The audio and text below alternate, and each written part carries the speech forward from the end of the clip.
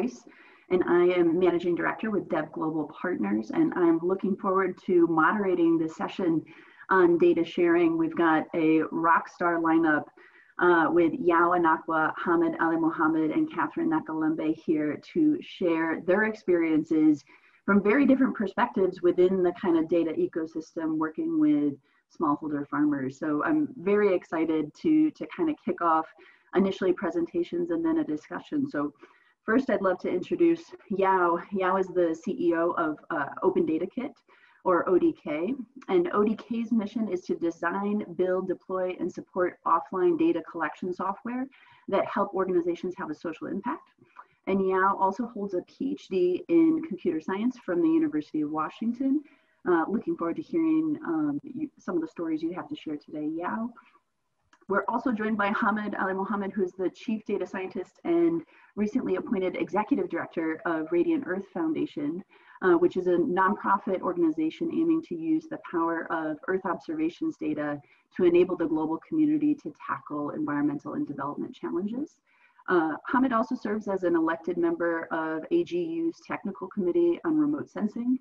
Uh, and previous to Radiant Earth, he was a postdoctoral research scientist at Columbia University's Earth and Environmental Engineering Department and holds a PhD in Civil and Environmental Engineering from MIT. And last but certainly not least, uh, Catherine Nakalembe is an assist assistant professor at the University of Maryland. Uh, she also serves as the Africa Program Director for NASA Harvest, which is NASA's Food and Security Agriculture Program. Um, she's also serves as a member of NASA's SERVIR Applied Sciences team as well as the Agriculture and Food Security Thematic Lead, or excuse me, Thematic Lead. Um, she also happens to be the 2020 Africa Food Prize laureate for her dedication to improving the lives of smallholder farmers by using satellite technology to harness data to guide agricultural decision making. Um, so excited to have the three of you here today. Um, with that, I want to jump right in. So I'm going to um, kick it over here to Yaw to, to start us off with his presentation. Hi, everybody. Um, I'm Yaw Anokwa from ODK, and I wanted to talk a little bit about some of the innovations that we've been doing in ODK that we believe help improve data sharing at scale. Um, I know some of you uh, on the call and, and some of you who are watching do know what ODK is, but for those who aren't, I wanted to just do a quick introduction um, for you. So ODK at the heart lets you connect collect data anywhere. It's really a set of offline tools uh, that help you build powerful offline forms to collect data you need, you know, wherever it is.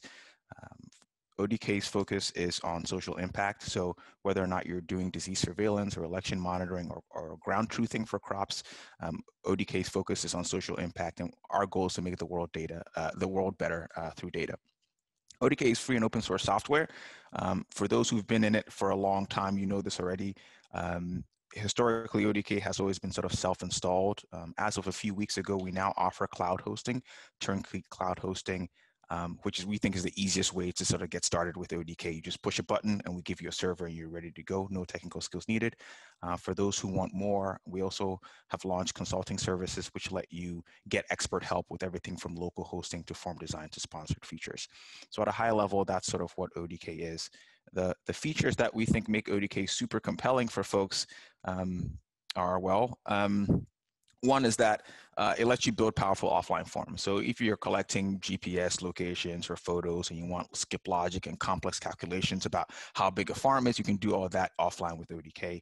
Um, and yes, everything works offline, both the mobile app and we have a web app that lets you collect data um, either on iOS or with any web browser. And everything works offline and then things are sort of synchronized to the server when you have a connection.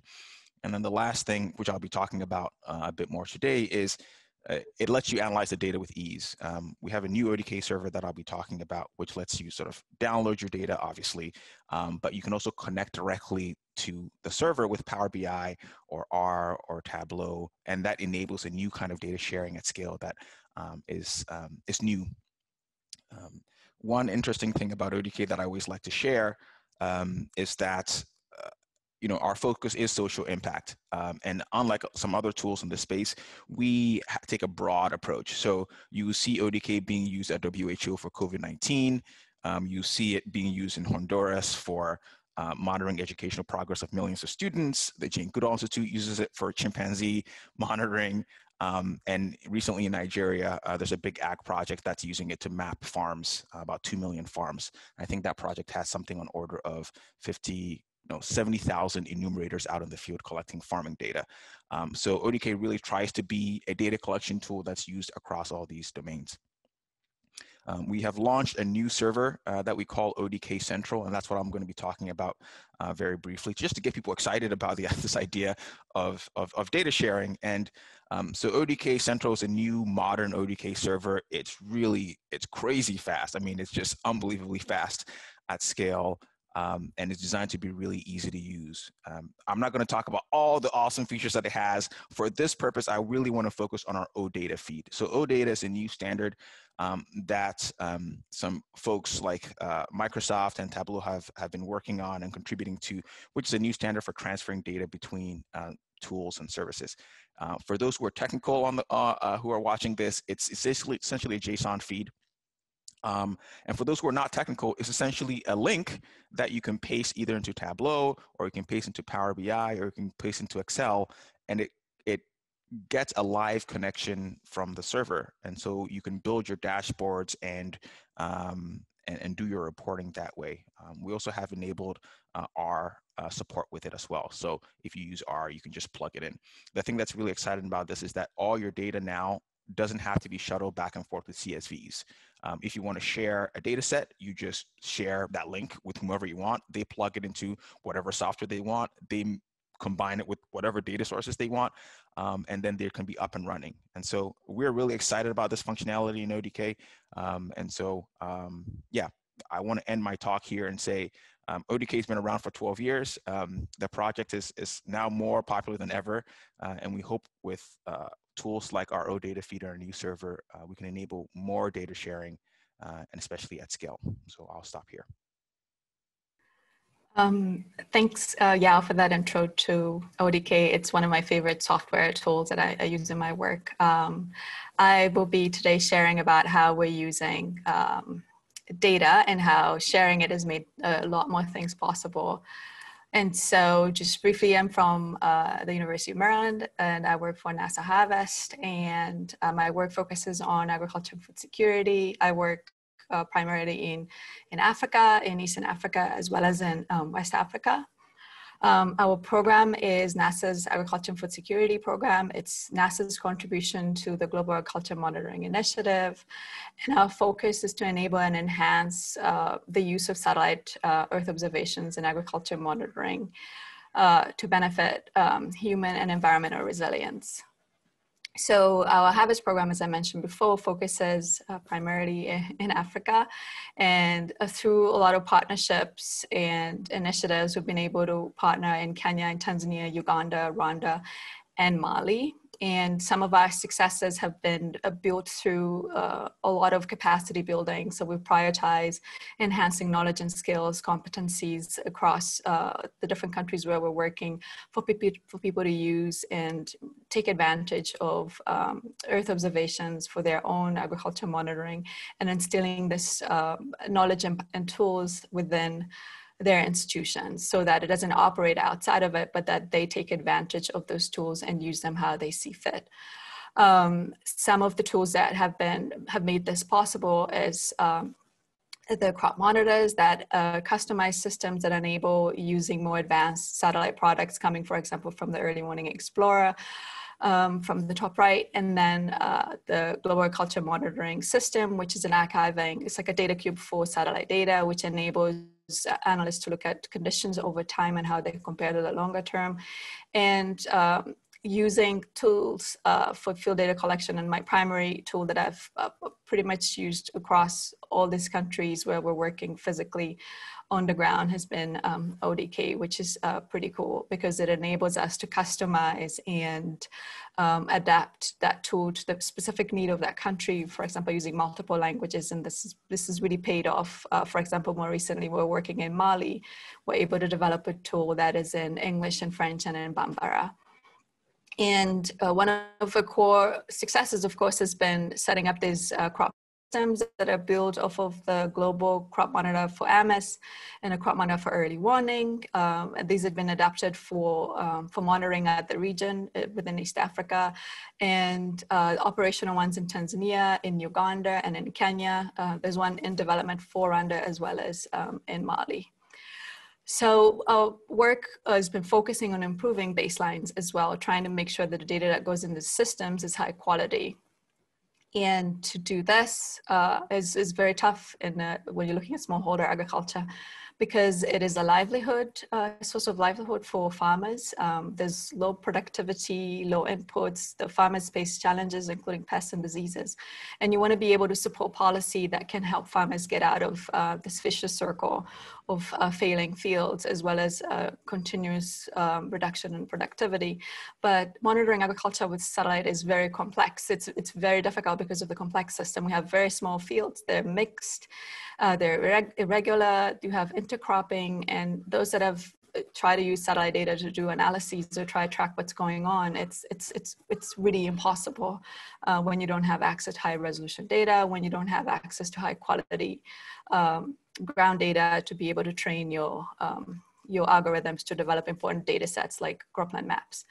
And so uh, building on these uh, really important aspects that make it work, the capacity that I mentioned before, having high quality satellite data, making sure that workflows are automated. One of the key things is access to field data and linking with um, other efforts to make sure that it's sustained, as well as being able to unpack that information and make it useful for farmers.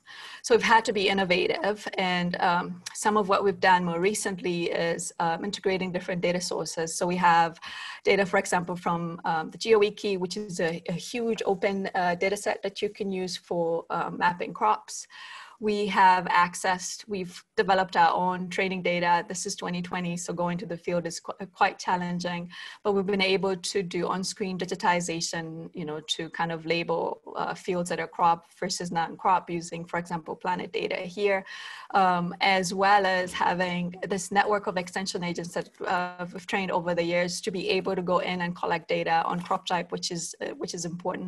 And then we combine that with machine learning algorithms and are able to produce, for for example, in uh, 2020, we're able to produce a cropland map for Togo from 2019 uh, without having access to ground data in Togo, as well as producing a, a, a, a 10 meter 2019 cropland map for Kenya. And we are right now running a, 2020 version of this.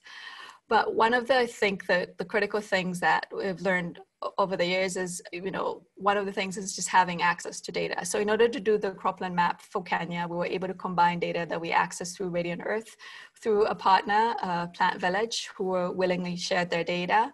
Uh, this made a very big difference because we were able now to develop a more complicated uh, model to be able to do crop type classification in season for 2020 for, for Kenya. This important, this information is really important for decision making.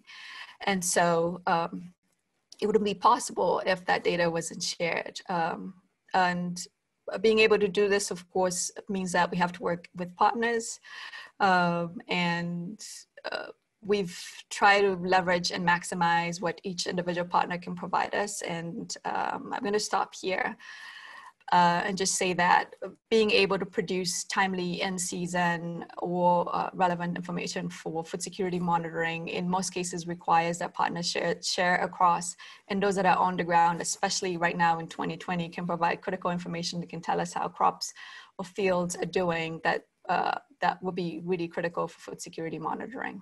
Thank you.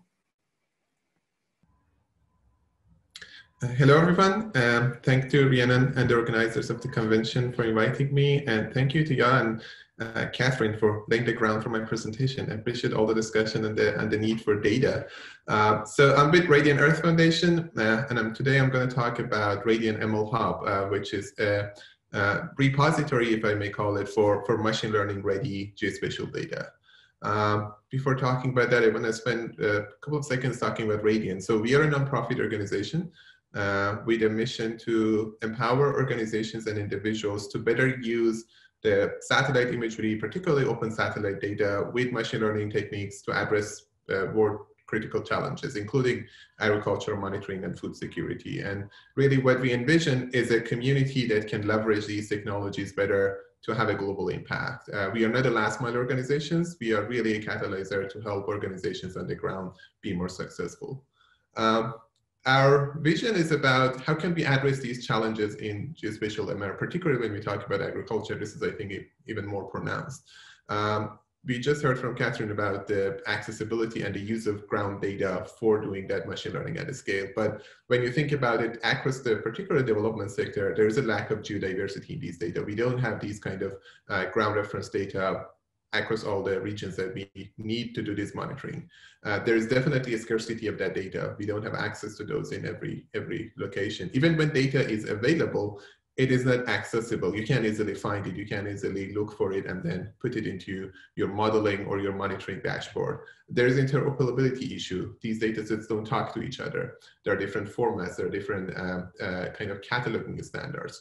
And then they are not necessarily what we call ML ready, meaning that, uh, hey, uh, for example, ML engineer is not necessarily a geospatial expert, right? So having a data uh, which is ready for fusing into an ML application is a different readiness level than being a geospatial uh, ready data. So addressing these challenges is required, otherwise we'll be uh, in a cycle of having models that are not necessarily accurate or applicable across wider regions. So to address these, this is what we have established, what we call an ML Commons for Earth observation. Uh, the key pillar of this is the hub, which is the repository for hosting these open access training data sets. Um, and soon in future, with the support that we have got from NASA, uh, hosting also ML models. So when there is an open ML model uh, on that data set, we can host it and people can easily discover and access it. Uh, building a community around this. So it is not just about the data hosting, a, community of practice that uses this data either through competitions or contributing to data or working on the standards and interoperability kind of best practices. How can we do this better and learn from each other and move forward? Uh, and lastly, doing uh, education and market uh, dissemination with sharing those best practices, uh, running workshops and convening so people uh, get exposed to the latest uh, developments in this space. just an overview slide of what is ML Hub. In practice, it is basically several storage uh, on the crowd. Uh, it is not just one bucket. It can be distributed across different clouds, whether it's commercial cloud or private cloud. Um, our bucket is on Amazon Web Services, but we also have data from other cloud providers. Uh, users come to us through an API and a dashboard so they can easily access these standard catalogs of the data. Uh, this is part of our effort working with the community to define that a standard catalog.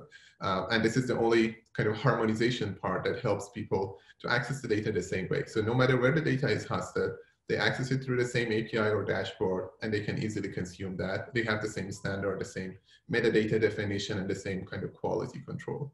Um, and there are different ways of accessing that API, whether it's through the, just the API endpoint. We have a Python client coming up. Uh, there's also a web portal for searching and accessing the data. Uh, everything is open access. There's an authentication, but everybody can sign up and access the data. So uh, feel free to go to mlhub.earth and start exploring the data. Uh, I will also talk briefly about some of the data sets we have. Uh, we recently released a land cover. Now, this is a data set uh, generated by Radiant team. it is a, a human verified, basically, land cover classification data set using time series of Sentinel-2, which is the global satellite at 10 meter resolution.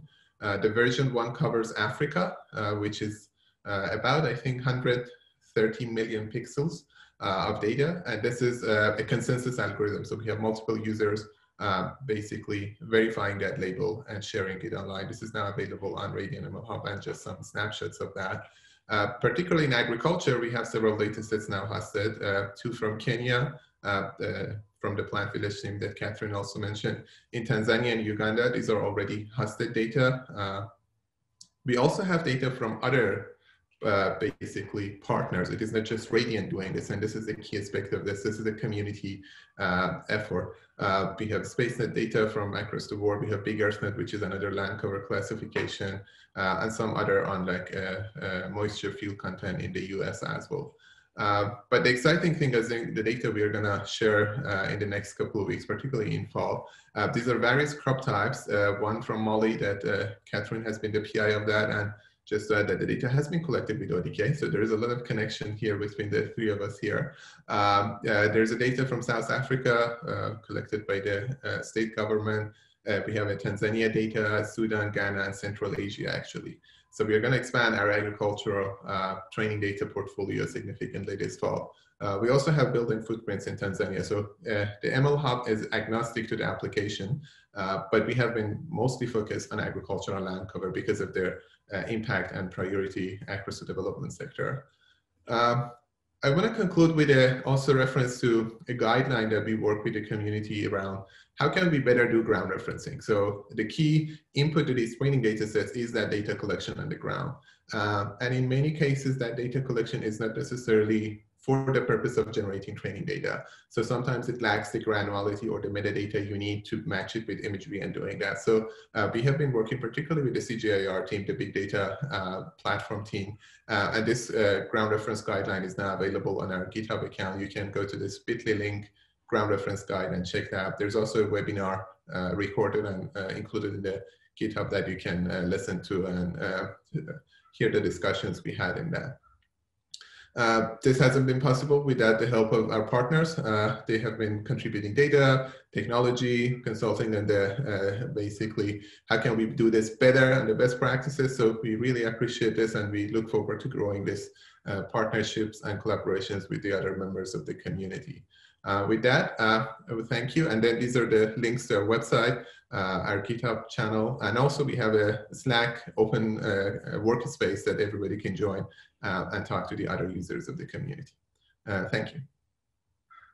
That was excellent. Thank you so much, Hamed, and thank you, Catherine and Yaw. I think that's a perfect setup and segue into kind of the discussion here and, and some of the topics that I really wanted to cover um, given your expertise and experiences. So, so jumping right in, kind of my first set of questions is for Yaw and Hamed. I want to talk about not just the kind of data sharing aspect of the ecosystem, but what does data adoption and usage mean? Does and, and maybe we ask this question first of does data sharing automatically mean that data will be adopted and used in your experience? And how do we as kind of practitioners avoid data getting shared but then gathering dust and, and kind of defeating the purpose? So uh, yeah maybe we'll start with you and then and then jump to Hamed for that one. Thanks for that. Yeah it's a, it's a really interesting and, and good question. Um, to answer it you know does data sharing automatically mean that somehow your data will be adopted and, and used? No absolutely not. There's no there's no guaranteeing that way. Um, i think this is why it's important you know from from our perspective as folks who are more focused on the data collection side, when somebody comes to us and says, I want to do a data collection project, we always start with, what are you going to use the data for?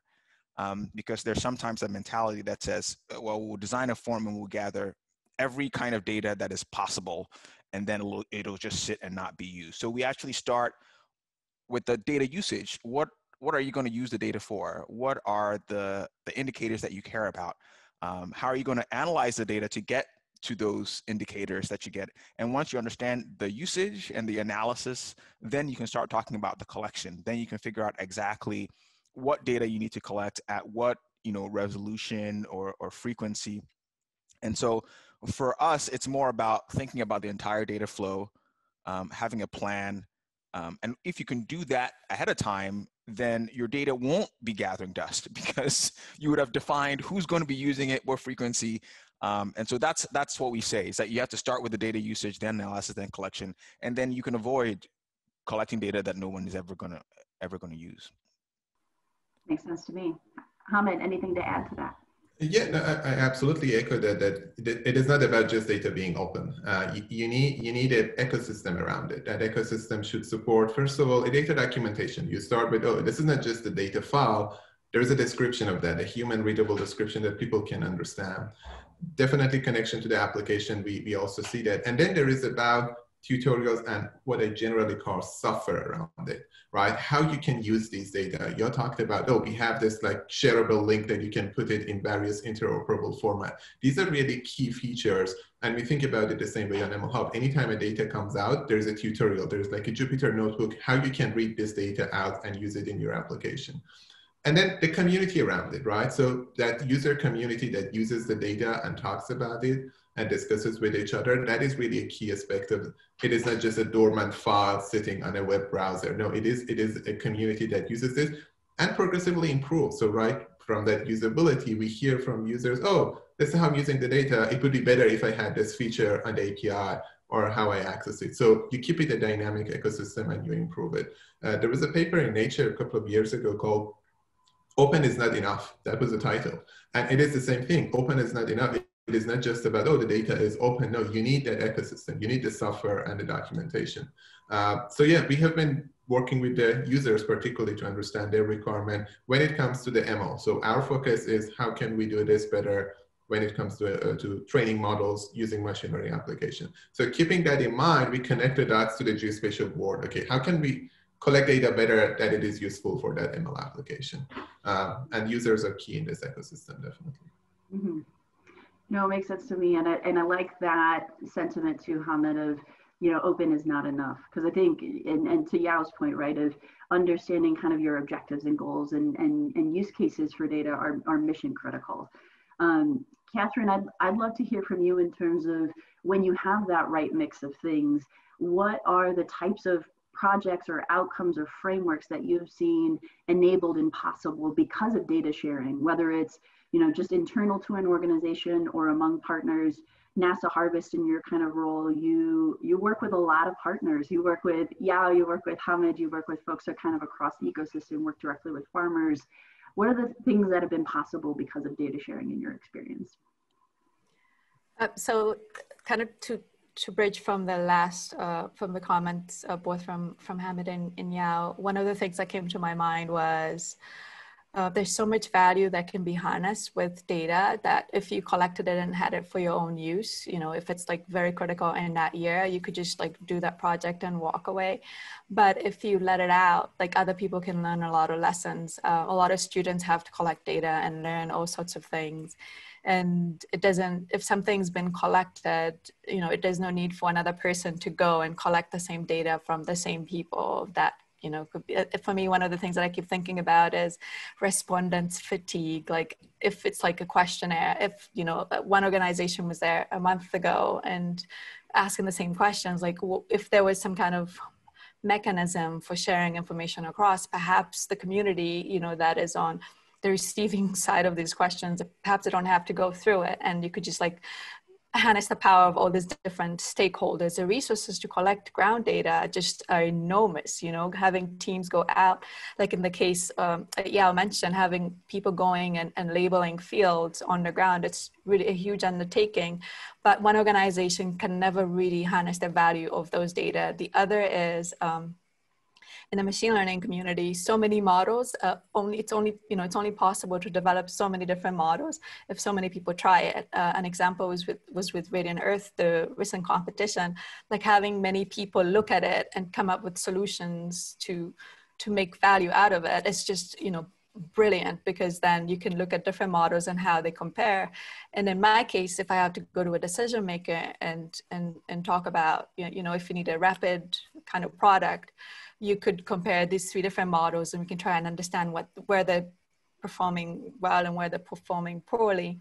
But um, going to your question more directly, uh, 2020 is a perfect year for why data sharing is important because we receive requests for um, we need a land cover, we need a, a, cropland map, so we know where all the farmers are in a country where we'd never worked before. Um, we got a, another request from Kenya. They wanted to assess how crops performed in 2019 uh, we barely had any ground data from 2019 from Kenya. So if we're going to develop a cropland map that you can use to assess uh, conditions, you can't do that um, unless you have access to those, you know, to those data. And so having uh, the GeoWiki data set, which has points across the globe, and then using that to train a machine learning algorithm, and then uh, adding to that, uh, you know, on-screen labeling to be able to come up with more recent, you know, data points, and then translating that into a product that was needed, for example, by the Togolese government in 10 days is, you know, it's, it's it wouldn't be feasible if those data didn't exist and if they were not like readily accessible. And so for me, that, you know, kind of points to if we really want to help the community, like if if you really care about farmers in Togo and are collecting data in Togo, and there's this request, I think it is your responsibility to share those data because ultimately you are trying to help the farmer. And organizations that are sharing data like plant village um, or one acre fund you know make it possible for researchers like us to be able to produce products that are actually in some cases very critical, like life saving, you know, bringing a, a, little bit of money to a farmer whose field has failed completely, which we can figure out if we have an updated cropland map, for example. So that's, I think, that's like, that's one of my best examples. And 2020 is the year of data, it should be the year of data sharing. You know, we're doing everything remotely. Um, it would be impossible otherwise. Mm-hmm. I love that. Well, well said, Catherine. And I, and I think that's also a, a perfect kind of segue into really what I want to talk about next, which is is more focusing on the farmer, right, and and kind of the data value chain perspective. So, Catherine Hamed, I'd love for you, you both to weigh in on this, especially because I know you're both working together right now in Kenya and, and some across some of these value chains. Hamed, would you say do we have currently a healthy data value chain for smallholder ag? Um, and and you know, in, in terms of your commentary on that, what information gaps exist already, especially for farmers themselves. And, and you're welcome to speak specifically to Kenya or kind of a broader context, but I'd love to just start there. And then Catherine, I'd love to then hear your perspective on what do farmers think about all of this? You know, do they actually care about data sharing? Um, is this something that comes up in your conversations, you know, in the field with farmers? Are they looking for more information? Um, do we need to adjust our current models because we're not accounting for farmer needs. Um, love to hear more on, on that too. So Hamed, we'll, we'll start with you. Sure. Yeah, that, that's a very good question. And at the end, it's about farmers, right? We are doing all of these because of them, because they, they need to be more productive, have a, a more fruitful life and a production. Uh, I think we have good use cases of that, that good value chain, but we don't have it at a, at a scale. Uh, we have like project specific or regional specific value chains that work well. And I think about it this way that, hey, we are collecting data on the ground. Then there's a team doing analytics, building models. Then there's a team deriving insights from that, feeding back to the policymaker. And then that information should also come back to the individual farmer as, if you may call it a recommendation or a decision point. Um, and this is not one organization doing all of this. These are multiple kind of uh, organizations and sectors that are working in this space. So that coordination, I think, is actually the tough part because everybody seems to do well in their own side of, oh, I'm doing the perfect data collection, but okay, who, who is doing the modeling? I'm doing the perfect modeling, but who is really using that in practice? And sometimes this is actually more of a hype when it comes to the ML part because everybody says, oh, I have the best ML model, X percent better than the other one, whatever the X is, right? So what? That is a question we always ask. Who is using it at the end? Uh, so I think what it what it needs to become a sustainable value chain is a better coordination among these. As you mentioned, yeah, we have been working with Catherine, uh, with Yaw, and others in the community who are working different sectors. But I think we have a we have a long way to go. Uh, we have done good examples. Uh, we see the value of it, and I think uh, the impact is now sensible in some sense. People say, oh, it can be done, it can be achieved, it is good to do this, but we need to do it at a scale. Definitely, there are barriers in terms of organizational, uh, data privacy issues, cultural. There's a lot of other aspects to this. It is not just a technical bit. Uh, but we are on a good track. I'm, I'm happy where we stand and we are moving forward. Um, so the thing that comes, I think, in my mind is that last mile, um, like packaging and unpacking, like the value of you know whatever models we've developed whatever systems we have. This is incredibly challenging. I've seen you know examples of uh, projects that have been able to bring um, you know like analytics in a simple text message and kind of uh, target a farmer but there's so many questions that go back like when you start looking at it you start to question the resolution of the data how it applies to the farmer. And then if the farmer has been you know approached and you know like how do you explain to the farmer how to interpret all these data? So there are all those complexities. And um, Hamed kind of mentioned a really good point about how we all do well in certain in certain places. And i personally think that um, if we're talking about the remote sensing community, agriculture remote sensing community, the ones that do really good models or really good products, we're really doing poorly at getting that information to the farmer because that requires a whole different kind of skill set, which makes it really important for for important for partnering. And so um, I think like in my experience, like when I go to the field, so I work with extension agents a lot. They're farmers too. And um, a really good example in Mali, we work with a, a network of farmers and they uh, participate in this kind of working group. So they're both extension extension workers and farmers, and they're the ones who are trained on how to use ODK.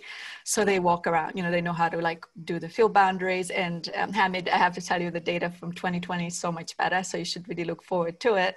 Um, but like working with them and kind of explaining to them what you're doing and what it means in the end it's they're very different things and so one of our main uh, I think my main contributions has been trying to improve the decision making process, which then would improve decisions that are made that can impact on a farmer. But it's absolutely critical that we figure out a way of um, communicating. And some of the most effective things is like radio, like like working with the media and getting them to explain you know this is the this is the result for let's say for your region. Um, this is how you would translate it because there are all sorts of radio programs for farmers. There are news articles and stuff like that that get published but most farmers get their information from the radio. So if um, one really good example i think is microsoft. They had like this radio kind of microsoft ai had a radio type program. And this could be like a way of like really improving what information the farmer is getting. It would be much better than a text message based on, you know, a 300 meter pixel that tells them that, you know, it's going to rain or it's not going to rain and then it actually rains. So I, I still think that we have, you know, there's like that other part that needs to be done, but it needs to be done properly and um, it has to be communicated using the best channels. In most cases, an SMS text will get to all those farmers, but translating and actually using it might require like a radio program, for example. But that's a whole other realm. It's in, in, in my opinion, you know, based on like where where we're comfortable working in that sense. But I, I'm looking forward to opportunities, you know, to work with partners who are trying to do that. Like in, in Mali, our partner, uh, Lutheran World Relief, this is like one of the core things they want to do. They want to be able to package information that will be relevant for those extension agents who then can work with the farmers that they support, which would be, I think, a, a fantastic, a fantastic contribution. Mm-hmm. Well, and and I think what you said is is really relevant too, Catherine, in terms of you know not underestimating the value of what I would call more kind of traditional or an- analog approaches like radio and the place that they have alongside some of these kind of high tech, you know, space based and other approaches too. So yes, I think that's that's incredibly important to keep in mind. Um, cognizant of time here, I've got at least another question for Yaw, and then hopefully we'll have time for maybe one other quick question across the panel yeah, kind of taking a, a, broader perspective in terms of enabling data sharing, you know, the cloud is behind a lot of that. And ODK, of course, as you said, has just enabled, you know, uh, cloud services. But so much of the concern, I think, especially in working with, um, you know, country stakeholders and governments is around data sovereignty and, and kind of sharing data and, and hosting data. And, and how do we balance some of that and the advantages there um, with crowd of cloud services with some of those privacy and data concerns and, and sovereignty?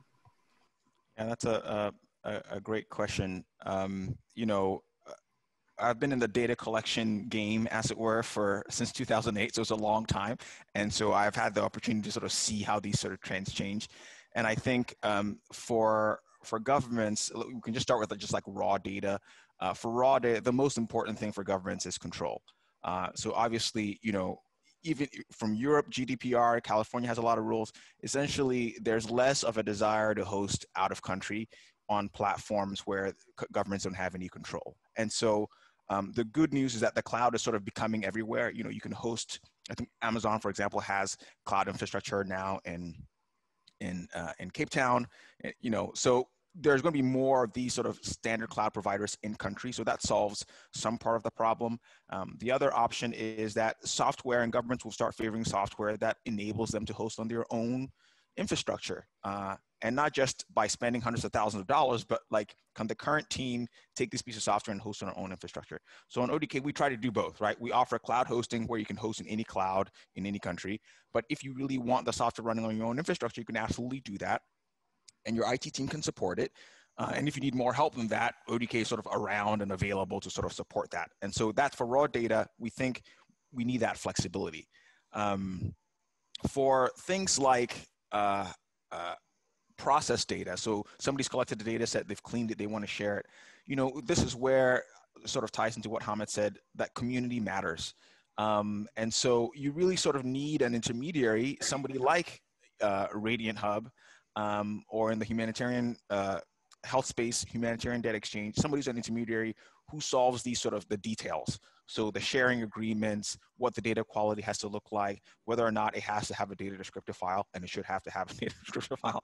Um, so all these sort of things need to be managed by by someone who has all the you know has sort of the better view of the ecosystem uh, because the individual partners you know if you're a researcher you don't want to spend you know hours and hours making sure the data is in perfect condition before it can be shared you know ideally you want to do the best that you can and hand off to somebody who can sort of help negotiate those kinds of things so i think there the way that we help governments tackle these kind of sharing problems is to work with you know these intermediaries to make sure that the data quality is good and there are great examples of this already. You know, Hamed's organization is a good one, Humanitarian Data Exchange.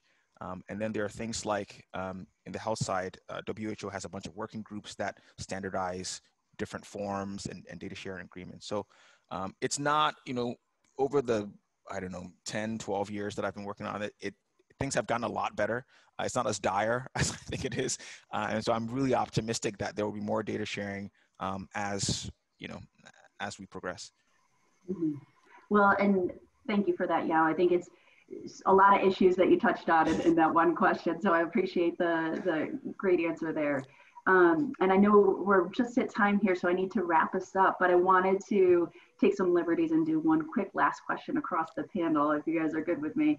Um, what's your, in, in kind of a quick answer, what's your one call to action? We've talked a lot about a community of practice, right? What's your call to action to that community of practice? What would be your number one priority, whether it's certain data you want to be shared, certain practices you'd love to see implemented, certain projects you'd like to see taken on? Uh, what's kind of the one one call to action? Um, Hamed, we'll start with you, then we'll go Catherine and Yaw before we wrap. Um, I will reiterate that uh, if you can share your data, but think about it at the beginning of the project, not when you have done everything and then you want to share it, then it's much harder to think about metadata and documentation. So think in advance and be open to sharing. Love it. Catherine?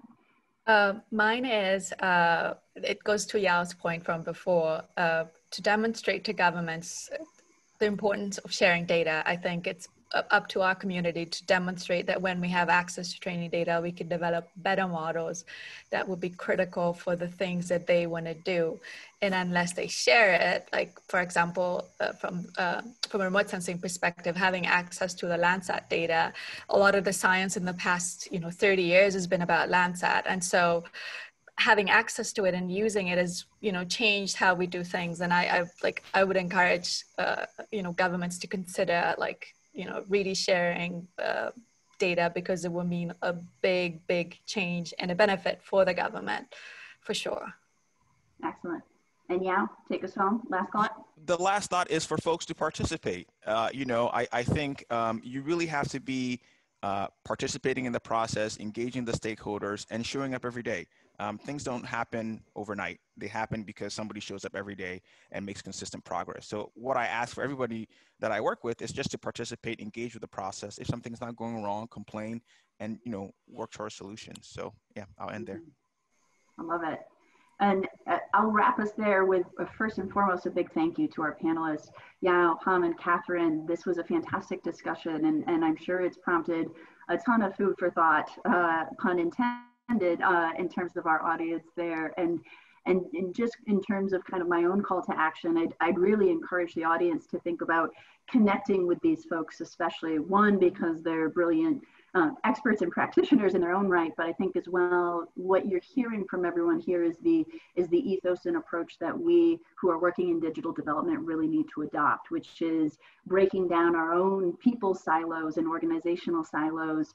Uh, because a lot of the times it's not about the technical, right? It's it's about partnerships. It's about the coordination and the kind of nitty gritty to, to make this work and, and make it work for for farmers, which is which is why we're doing this. So thank you again, everybody, for joining the session. Very much appreciated and looking forward to the rest of the conference.